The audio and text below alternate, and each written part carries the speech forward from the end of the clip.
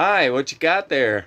Hey, I've got some awesome Nummy. pancake bars. So camper life living easy in the camper, a lot easier Camper. than making actual flapjacks. But we tried this brand because we just got in our workout this morning and need a little energy, some protein, almond poppy seed, pretty cool, and thought we'd add some Yeah. blueberries.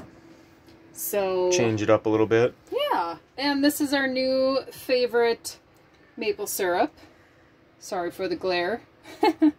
Monk fruit, so it's doesn't have all the sweetener in it. You can do what you want, but we prefer that one. Yeah, Yeah, so yeah, we make the bars. They're a lot easier than making a bunch of pancakes in here. So heck yeah. Heck yeah, and we cook it outside and ready to go. yeah, don't want to heat the place up. God Heck bless yeah. America, guys. Try our little snack. Bye bye.